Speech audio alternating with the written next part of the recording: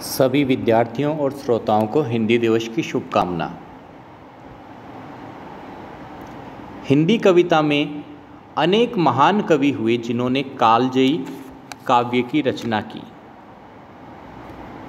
अमीर खुसरो से लेके प्रयोगवाद के प्रवर्तक अज्ञेय तक महान कवियों ने अपनी कविताओं से हिंदी साहित्य की समृद्धि की। भक्ति काल में मीरा, सूर, तुलसी और जायसी की रचनाएँ मानवता का संदेश देती हैं। वहीं आधुनिक युग में प्रसाद, पंत, निराला और महादेवी ने छायावाद के रूप में हिंदी कविता को एक नई ऊंचाइयों तक पहुँचाया। हिंदी काव्य की इस समृद्ध परंपरा में हमें समाज और जीवन की विसंगतियों के प्रति विद्रोह के भाव भी मिलते हैं। संत कबीर इस विद्रोही काव्य परंपरा के प्रतिनिधि कवि हैं। उन्हीं की परंपरा में महाकवि निराला हुए और आधुनिक युग में बाबा नागार्जुन ने भी कबीर के दिखाए मार्ग पर चलते हुए जन जीवन की विसंगतियों को अपनी कविताओं के माध्यम से व्यक्त किया। आज हम बात करेंगे बाबा नागार्जुन की उस अनोखी अलबेली शख्सियत के बारे में, जिसके कारण उन्हें हिंदी कविता का हरफनमोला कवि भी कहा जा सकता है। नागार्जुन जन कवि थे। जनता के दुख दर्द को, उसकी आशा आकांक्षा को उन्होंने अपनी कविताओं का आधार बनाया। अपनी एक कविता में वे लिखते हैं, जनता मुझसे पूछ रही है, क्या बतलाऊं? जन कवि हूँ मैं, साफ़ कहूँगा क्यों हकलाऊं जनता के मनोभावों को उन्होंने अपनी कविता में व्यक्त किया है और बिल्कुल बगैर किसी से डरे हुए सपाट बयानी उनकी कविताओं में देखने को मिलती है। इस सपाट बयानी का, इस बेलाग अभिव्यक्ति का एक उदाहरण है। वे लिखते हैं, गूँगा रहोगे, गुड़ मिलेगा।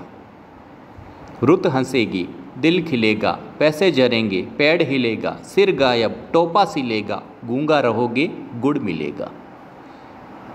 यहाँ गूँगा रहना, तमाम विसंगतियों को, तमाम अन्याय और अत्याचार को चुपचाप सहन करते जाना है। और गुड़ किसी प्रलोभन का प्रतीक है। ये आज की हकीकत है कि अगर आदमी चुपचाप अन्याय, अत्याचार को सहन करता जाए, लेकिन इसके बावजूद उन अत्याचारियों से चिपका रहे, उनकी चापलूसी करता रहे तो कोई न कोई फ़ायदा वो उठा लेता है। नागार्जुन खुद कम्युनिस्ट विचारधारा से कुछ हद तक प्रभावित थे। उनके मन में भी समाजवाद का आदर्श था। जिस समाजवाद का सपना रूस ने दिखाया और बाद में जो कम्युनिस्ट शासन चीन में प्रचलित हुआ। नागार्जुन रूस के कम्युनिस्ट शासन से प्रभावित रहे। लेकिन वही कम्युनिस्ट शासन जब माओ के नेतृत्व में तानाशाही की ओर बढ़ने लगा, हिंदी चीनी भाई भाई के नारे को दरकिनार करते हुए जब उन्नीस सौ बासठ में चीन ने भारत पर आक्रमण कर दिया तो फिर नागार्जुन चुप नहीं रह पाए। एक तरफ़ तो उन्होंने कम्युनिस्ट विचारधारा का कुछ हद तक समर्थन किया है, लिखा है रोज़ी रोटी हक की बातें जो भी मुँह पर लाएगा, कोई भी हो निश्चय ही वह कम्युनिस्ट कहलाएगा। लेकिन कम्युनिज्म का चाइनीज़ मॉडल, कम्युनिज्म का माओ मॉडल उन्हें बिल्कुल पसंद नहीं आया, क्योंकि माओ भारत का दुश्मन था। माओ के बारे में उन्होंने लिखा है, कौन है वह माओ? बेगाना है वह माओ। आओ इसको नफ़रत की थूकों से नहलाओ। आओ इसके खूनी दांत उखाड़ दें, आओ इसको ज़िंदा ही कब्र में गाड़ दें। माओ के प्रति घृणा, नागार्जुन की देशभक्ति से प्रेरित है। यही घृणा पाकिस्तानी शासक अयूब के प्रति भी दिखाई देती है, जब वे ये लिखते हैं, झाड़ देंगे अयूब का हिटलरी गुमान, खबरदार दुश्मन दुश्मन सावधान। नागार्जुन के मन में अपने देश के प्रति श्रद्धा का भाव था। वो लिखते हैं, खेत हमारी, भूमि हमारी, सारा देश हमारा है। इसीलिए तो हमको इसका चप्पा चप्पा प्यारा है। नागार्जुन का मूल गाँव तरओनी गाँव था।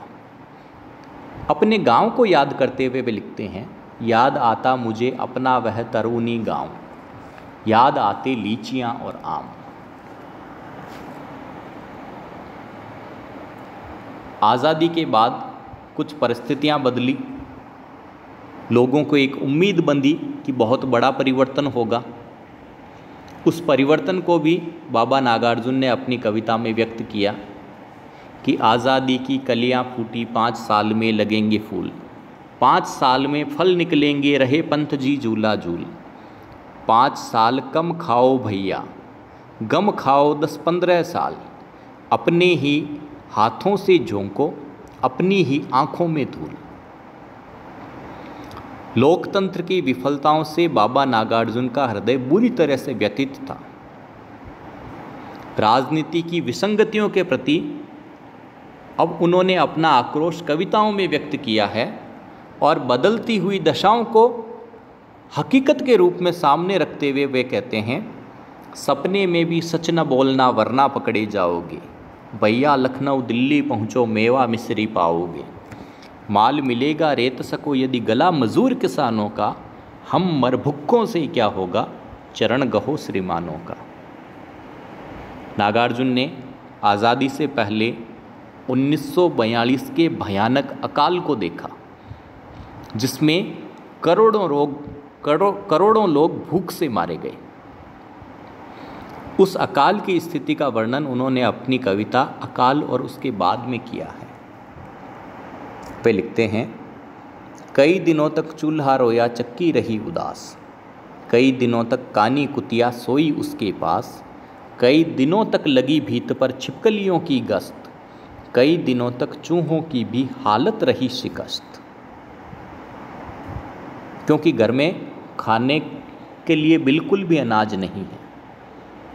ऐसी स्थिति में उन्होंने चूल्हे और चक्की का मानवीकरण किया है कि अनाज के अभाव में चूल्हा रो रहा है, चक्की उदास है और उस परिवार पर आश्रित प्राणी भी व्यथित हैं।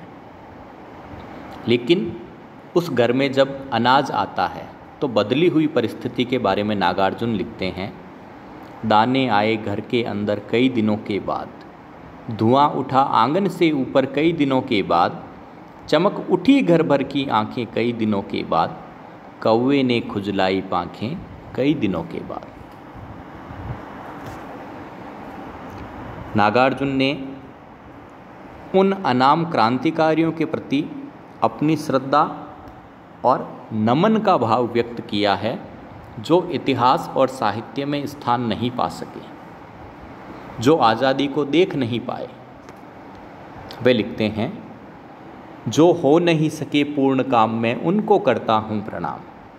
कृत कृत नहीं जो हो पाए प्रत्युत फांसी पर गए झूल। कुछ ही दिन बीते हैं फिर भी यह दुनिया जिनको गई भूल, उनको प्रणाम। इसी संबंध में वे आगे कहते हैं, जिनकी सेवाएँ अतुलनीय पर विज्ञापन से रहे दूर प्रतिकूल परिस्थितियों ने जिनके कर दिए मनोरथ चूर चूर उनको प्रणाम। उन शहीदों को प्रणाम, जो अपना विज्ञापन नहीं कर पाए, जो इस दुनिया के इतिहास में अपना स्थान सुरक्षित नहीं कर पाए, उन असंख्य अनाम शहीदों को नागार्जुन ने अपना नमन प्रेषित किया है। कल नागार्जुन की रचनाओं में हमें मुख्य रूप से आक्रोश का स्वर दिखाई देता है। विषमताओं और अन्याय के प्रति एक उग्रता का भाव दिखाई देता है। लेकिन नागार्जुन को हरफन मोला कवि यूँ ही नहीं कहा जाता। उन्होंने अपनी कविताओं में कोमल भावों को भी व्यक्त किया है। नागार्जुन ने कालिदास के साहित्य को आधार बनाकर एक कविता लिखी, कालिदास सच सच बतलाना। कालिदास ने एक महाकाव्य लिखा था, रघुवंश, जिसमें भगवान राम के वंश का वर्णन है, रघुकुल रीत का वर्णन है। भगवान राम के पितामह और राजा दशरथ के पिता अज के विलाप को रघुवंश में दर्शाया गया है। नागार्जुन कालिदास से पूछते हैं, कालिदास, सच सच बतलाना, इंदुमती के मृत्यु शोक से अज रोया या तुम रोए थे? कालिदास, सच सच बतलाना। अपनी पत्नी, रानी इंदुमती के विरह में अज का विलाप। नागार्जुन को ये लगता है कि रघुवंश में अज विलाप नहीं कर रहे हैं। उस रघुवंश में अज के माध्यम से कालिदास ने अपनी मनोविथा को प्रस्तुत किया है। इसी तरह कालिदास का एक महाकाव्य है, कुमार संभव, जिसमें शिव के तीसरे नेत्र से कामदेव के भस्म होने का उल्लेख है और कामदेव के भस्म होने पर रति का करुणादायी विलाप हमें देखने को मिलता है। उस करुणाजनक विलाप के बारे में नागार्जुन फिर से प्रश्न करते हैं। शिवजी की तीसरी आँख से निकली हुई महाज्वाल में द्रत मिश्रित सूखी समदासम, कामदेव जब भस्म हो गया, रतिका क्रंदन सुन आँसू से। तुमने ही तो द्रग धोए थे। कालिदास सच सच बतलाना, रति रोई या तुम रोए थे? नागार्जुन फिर से प्रश्न करते हैं कि कामदेव के भस्म होने पे रति का जो विलाप है, उसमें एक सच्चाई का अंश है और वो सच्चाई तभी आ सकती है जब वह विलाप, वह वेदना कवि के हृदय में भी रही हो। इसी तरह कालिदास का एक प्रसिद्ध खंड काव्य है मेघदूत, जिसमें अलकापुरी से निष्कासित यक्ष मेघ को, बादल को संदेशवाहक बनाकर अपनी पीड़ा को व्यक्त करता है, विलाप करता है। उस आषाढ़ी साँझ के बादल के बारे में नागार्जुन फिर से प्रश्न करते हैं, वर्षा ऋतु की स्निग्ध भूमि का प्रथम दिवस आषाढ़ मास का देश गगन देख गगन में श्याम गन घटा। विदुर यक्ष का मन जब उछटा खड़े खड़े तब हाथ जोड़कर चित्रकूट के सुबह शिखर पर उस बेचारे ने भेजा था, जिनके ही द्वारा संदेशा।